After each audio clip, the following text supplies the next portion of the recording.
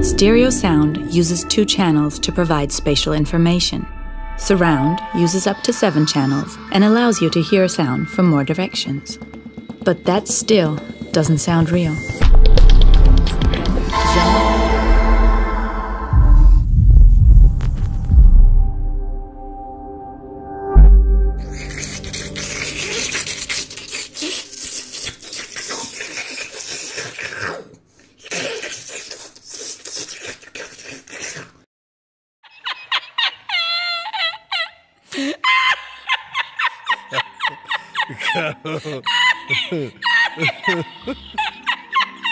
Es que la pregunta que me has hecho.